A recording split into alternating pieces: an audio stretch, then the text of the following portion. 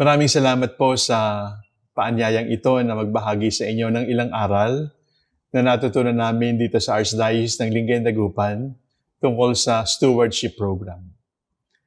Ang una pong dapat nating tandaan tungkol sa stewardship ay ito, na hindi ito money-making scheme. Na ito ay hindi tungkol sa pagtataas o pagbaba ng koleksyon.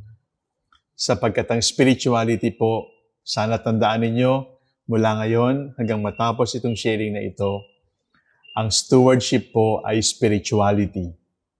At ang ibig sabihin po ng spirituality ay yung pagsisikap ng tao na isabuhay ang buhay ng Diyos. Yung pagsisikap ng tao na tingnan ang buhay ng Diyos at ilapat sa ating katayuan kung papaano nabuhay ang Ama, ang Anak, at ang Espiritu Santo. Yun po. Spirituality po ang stewardship. Huwag po nating basta iugnay sa fixed rates, sa stipend, sa honorarium. Ito po ay bahagi, subalit mas malaki po ang stewardship kaysa sa mga bagay-bagay tungkol sa pera at tungkol sa construction at tungkol sa collection. So, paano po kami nagsimula dito sa Archdiocese ng Lingayen Dagupan ng stewardship. Ang una pong C ay catechesis. Pakiusap ko po sa aking mga kapatid na obispo at pare, huwag po kayo magsisimula ng stewardship sa pamamagitan ng circular. Hindi po ito masisimulan sa pamamagitan ng memorandum. Sapagkat ang stewardship ay spirituality, ang kailangan muna dito ay formation. At yung formation ay sa pamamagitan ng catechesis. Ano po ang itinuturo sa atin ng spirituality of stewardship? Una, we have received from the Lord and we must be grateful. Ang lahat ng hawak natin ay galing sa Diyos at dapat nating ipagpasalamat. Pati na yung problema natin, galing na rin sa Diyos yun upang matutunan natin ang mga aral na nakapaloob sa isang problema at tayo ay bumuti at tayo ay maging mas mabait, mas banal na tao. We have received and therefore we must be grateful. Ang ating panahon ay tinatawag na parang throwaway generation na kapag ayaw mo na, tapon. Bakit mo itinatapon? Kasi hindi mo na nakikita ang mga bagay-bagay, ang mga tao sa iyong paligid bilang biyaya ng Diyos. Pero sa stewardship spirituality, palagi nating sasabihin, ang lahat ay biyaya ng Diyos. At dahil ang lahat ay biyaya ng Diyos, ang lahat dapat nating ipagpasalamat. We have received and therefore we receive gratefully. Pangalawa po ay we cultivate responsibly. Ang ibig sabihin nito, ang isang mabuting steward ay hindi lamang basta tumatanggap.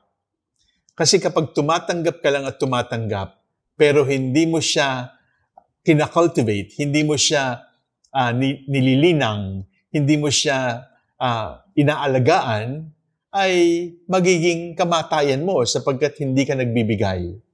Kapag tumanggap ka ng hangin sa pamamagitan ng paghinga, hindi ba kailangan ilabas mo rin yun po ang ibig sabihin, to cultivate it responsibly, na hindi lang basta salamat po Lord, kundi payamanin natin, pagyabungin natin yung mga biyaya na ibinigay sa atin ng Diyos. Cultivate responsibly, ibig sabihin, aim at excellence. Ibig sabihin, yung natanggap natin, dagdagan pa natin sa pamamagitan ng ating pagsisikap at pag-aalaga. Pagkatapos ng cultivate responsibly, ay share generously. Ibig sabihin, huwag kang matakot na ikaw ay mauubusan. Ibig sabihin, share generously. Ibig sabihin noon, ang Diyos ay hindi natatakot maubusan. Ang Diyos ay hindi man lang naghihintay na pasalamatan. Give because the greatest measure of love is to love without measure and to give without measure. And the perfect proof of loving is in giving. At ang pang-apat ay return to the Lord with abundance. Ang ibig sabihin noon ay, uh, yung ibinigay sa atin ng Diyos ay i-multiply natin katulad ng mabuting katiwala sa Ebanghelyo. We return the gifts that we have received from the Lord with abundance. We receive 10, we make it 100.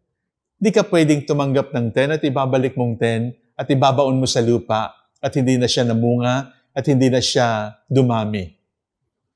We receive from the Lord and we receive it gratefully. We cultivate responsibly. We share generously. And then we return to the Lord with abundance. Paano natin ibinabalik ang mga biyaya sa Panginoon? Sa pamamagitan ng kapwa-tao. Sapagkat ang bagong pangalan ng ating Panginoon ay kapwa-tao. Others. Because it is only in living for others that we can truly live for the Lord. So pagkatapos po ng catechesis, ay makikita natin na yung spirituality ng stewardship ay nakabatay sa spirituality ng komunyo. Yun po ang pinagsimula namin dito sa Linggen Dagupan. Nagsimula po kami sa stewardship, pero nakita namin na ang tunay na tagapag alaga, ang tunay na katiwala, ay dapat na namumuhay katulad ng Ama at ng Anak at ng Espiritu Santo. At ibig sabihin noon, komunyo. Kaya po dito sa Linggen Dagupan, ang aming pong stewardship program ay tinawag naming pananabangan. Pero ang pananabangan po ay hindi stewardship. Ang pananabangan po ay komunyo. Communion of Saints, pananabangan po yon. Communion of the faithful, pananabangan po yon. Ibig sabihin, yung pananabangan ay isinasabuhay natin at hindi natin maisasabuhay ang spirituality ng stewardship kung hindi tayo nabubuhay katulad ng pamumuhay ng Ama at ng Anak ng Espiritu Santo. Walang competition, subalit may kakanyahan. The Father is not the Son, The Son is not the Spirit, the Spirit is not the Father, but there is a bond of love that unites the Father and the Son and the Holy Spirit. And the Father, Son, and Holy Spirit loving together, living together, is only one God in three persons. Iyon ang spirituality ng stewardship na nakabase sa spirituality ng komunyo.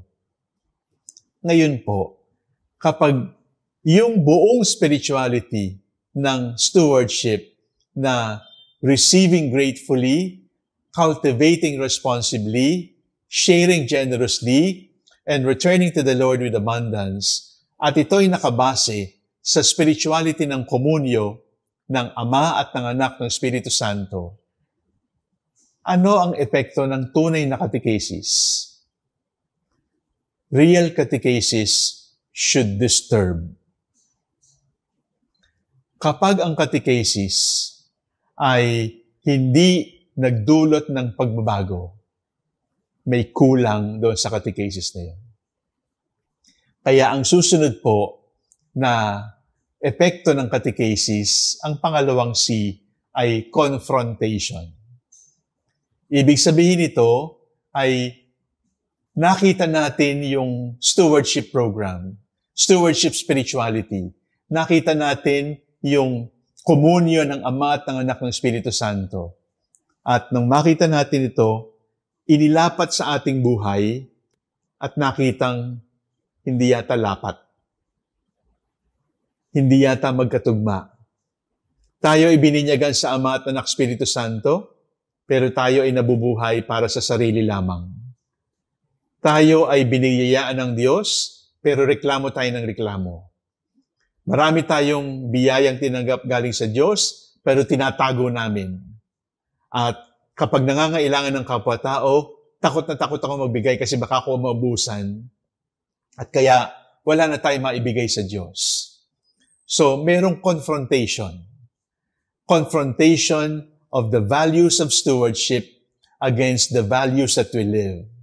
Confrontation from the values of communio sa values ng ating pamumuhay bilang tao, bilang Kristiyano sa ating lipunan. At sa paglalapat pong ito, doon po pumasok yung napansin namin na yung buhay ng simbahan ay buhay ng pagtutulungan. Pero kailan ka tumutulong sa iyong kapwa-tao? Kapag may sakuna, kapag may namatay, kapag may pandemic, kapag mayroong catastrophe, kapag mayroong bagyo, may lindol, may baha, tutulong ka. Tutulong ka simbahan kapag magpapabinyag ka, kapag uh, magpapakasal ka, kapag magpapabless ka ng bahay. At anong naging epekto nito? Nagkaroon po tayo ng arancel o kaya sabi natin ay fixed rates sa ating mga sakramento. Ito ay kinonfront po ito ay hinarap at nakipagtuos at nakipagbuno. At kami, kaparian, laiko, taong bayan ay nagdesisyon na hindi ito komunyo, na hindi ito stewardship, at kailangan nating baguhin. Bakit? Kasi po, yung kasalukuyang sistema na mayroong fixed rate ang bawat sakramento ay nag-udyok sa mga tao na kapag lumapit sa simbahan ay tatanungin, magkano po ang kasal? Magkano po ang binyag? Para bang nagtanong, magkano po ang gupit? Magkano po ang pedicure? Magkano po ang manicure? Magkano po ang uh, shave? Ay, ang sakramento po ay parang naging komersyo at nagkaroon ng price tag. Hindi dapat yon Sapagkat kahit ano ang mangyari, ang price tag lamang ng bawat sakramento ay ang buhay, kamatayan, at muling pagkabuhay ng ating Panginoon. The sacraments have no price tag, and the sacraments come to us because of the passion, death, and resurrection of Christ. The sacraments come to us because of the communio of the Father and the Son and the Holy Spirit. At pangalawa ay hindi lamang ito nagkaroon ng misconception na ang simbahan ay pumepera, ito ay nagdala rin upang lumayo ang mga tao simbahan. Kaya ayaw na nila magpakasal kasi maggastos yung kasal simbahan. Ayaw na lang magpabless kasi magastos yung magpabless ng bahay. Ayaw na nilang lumapit simbahan sapagkat alam nila bawat kilos, bawat wisik, at bawat blessing ay may katapat na pera. Mali. Maling-mali at napakamali. At kailangan po natin i-confront ito. Na hindi lang siya anti-poor. In fact, it is anti-sacraments. And it is also anti-clergy for all you know. Bakit po? Kasi kapag nagpatuloy yung paglalagay natin ng fixed rate sa bawat sakramento, ano ang nangyayari? Ang isip ng mga tao ay si Father ay bayaran may sweldo si Father galing doon sa kanyang ginagawa.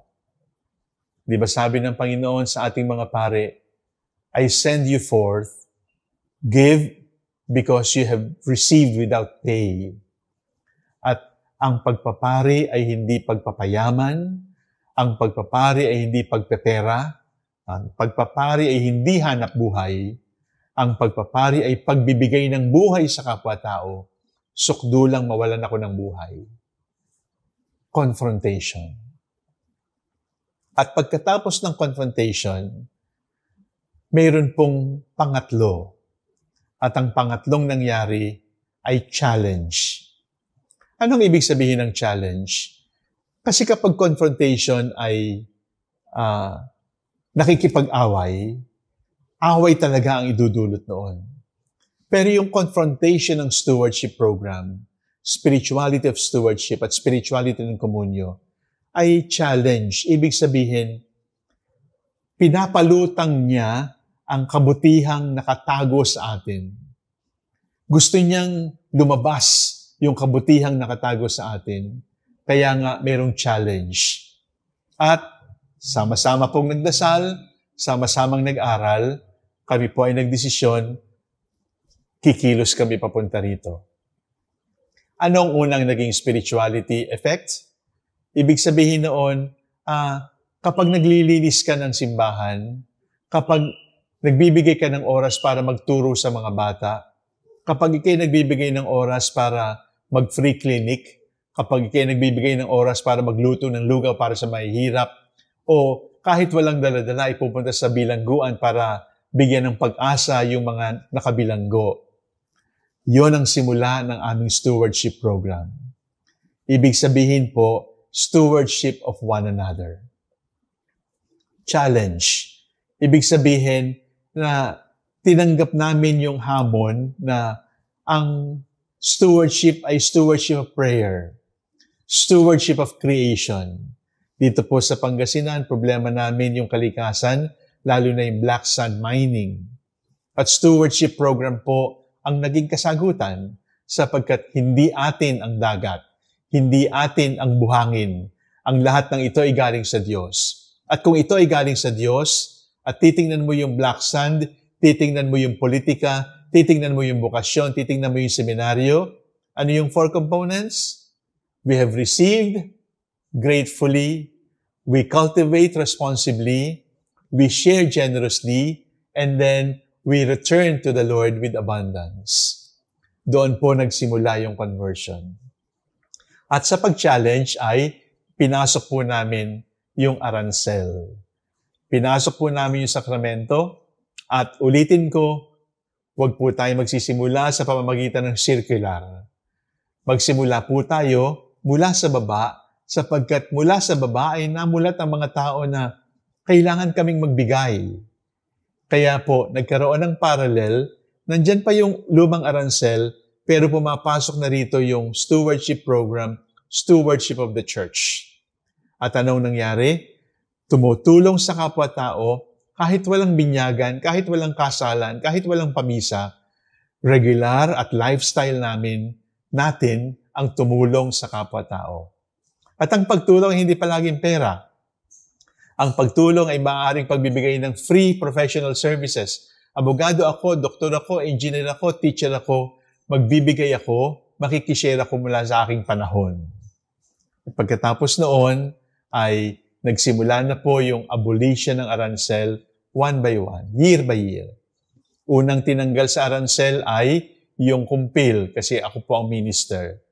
Pero pagkatapos po ng isang taon, ang isinunod namin ay tinanggal yung fixed rate sa mga binyag. At pagkatapos po noon ay tinanggal yung fixed rate sa mga patay, sa blessing at funeral masses. At pagkatapos po noon, tuloy-tuloy na taon-taon. Sa loob po ng anim na taon ay dahan-dahang nawala yung aransel at hindi po naramdaman yung kirot, yung yung uh, anumang masamang epekto sapagkat ang totoo ay motivated ang mga tao, motivated ang mga katoliko na magbigay. So pagkatapos po ng challenge, naroon ang pang-apat na conversion. Conversion, ibig sabihin, na bago ang pananaw, na bago ang puso, at ang pagtulong sa kapwa-tao, pagtulong sa politika, pagtulong sa kalikasan, pagtulong sa eskwelahan, sa paaralan, sa kultura, ay bahagi na ng ating buhay. At pagkatapos noon ng conversion, ay papasok na doon yung contemplation. Ibig sabihin, dadalin tayo sa katayuan na tayo ay nagiging madasalin, hindi lamang yung recited prayers, formula prayers, kundi yung pagtingin mo sa Panginoon at makita mo na, Panginoon, kayo po ang pinagmumula ng lahat. Panginoon, salamat po sa lahat-lahat. At Panginoon, ang lahat ng lahat pong binigay ninyo sa akin ay ibabahagi ko sa aking kapwa-tao. Ang lahat po ng simula ay catechesis. Huwag na huwag pong magsisimula mula sa memorandum, mula sa circular, mula sa synodal statutes, sapagkat hindi po ito uh, magiging effective. Sapagkat ang tunay na stewardship ay spirituality. At kung ito ay spirituality, mas maraming taong nabubuhay sa spirituality ito, mas madali nating maisasabuhay. catechesis, at i-confront po natin. Huwag po tayong mahiya na makita na ang buhay natin ay saliwa, hindi lapat doon sa spirituality ng stewardship. Challenge. At ito ay magandang pagkakataon para makita natin na meron tayong kakayanan. Huwag tayong matakot na mawalan. Huwag tayong matakot na uh, mauubusan sapagkat hindi mangyayari yon ang sino mang magtiwala sa kagandahang loob ng Diyos ay hindi sisiphayuin ng ating Panginoon. Pagkatapos noon ay conversion, ibig sabihin pagbabago ng pananaw, uh, pati po mga parish secretaries kapag lumapit ang katoliko at sinabing, magkano po ang binyag, magkano po ang kasal, magkano po ang pamisa, meron po silang standard answer, wala pong bayad at hindi po maaaring bayaran. At sasabihin ng bisita, ah wala na po ngayon. Ang sasabihin nila ay palaging, kahit kailan po ay hindi nabayaran ng sakramento, sapagkat ang sakramento ay bigay sa atin ng Diyos at hindi ito kapalit ng perang binibigay sa atin. So, yun pong mga frontliners sa parish office, parish secretary, sila po ang naging kasangkapan, dagdag sa mga stewardship committees ng mga parokya. So, paano po dahan-dahan nangyari yon? Kapag season po ng Advent, simbang gabi, meron po kaming common homilies tungkol sa stewardship. Pagdating naman po ng Quaresma at saka Easter season, meron pa rin common homilies tungkol sa stewardship. Sapagkat napakayaman po ng salita ng Diyos, maaari tayong makakita ng iba't ibang component ng stewardship sa bawat ebanghelyo, sa bawat linggo ng ating liturgical year. Kailangan lang po talagang pagsikapan at kailangan bigyan ng masusing pag-aaral. At nang matapos po yung mga homilies na yon sa loob ng halos ay tatlo, apat na taon na sunod-sunod na iba't ibang homilies tungkol sa stewardship, ang nangyari po ay nagkaroon po ng stewardship committee sa bawat parokya. Sila po ang nag-handle ng catechesis, sila po ang nag-handle ng iba't ibang stewardship programs. Ulitin ko, hindi lamang po sa mass collection, hindi lamang po sa income ng parish, kundi pati yung mother butler na nagkukuskus ng sahig ng simbahan, stewardship yon. Pati yung katikista na uh, pumupunta sa public schools before the pandemic, stewardship yon. Yung nagbibigay ng pera, stewardship din yun. Pero isang component lang po yun. Sapagat ang pinakamahalaga sa stewardship ay pagkilala, yung four aspects. We have received generously, we have received and therefore we must be grateful all the time. Say thank you. Ang spirituality ng stewardship ay palaging nagte-thank you. Pangalawa, cultivate responsibly. Ibig sabihin, ah, Huwag mong pabayaang maagnas o mabulok o manatiling pareho lamang ang binigay sa iyo ng Diyos. Share generously and then return to God with abundance. Sa, sa kahit anong mangyayari, i-apply natin ang apat na posting ito, haligin ito ng spirituality of stewardship. At ito ay magiging lifestyle natin.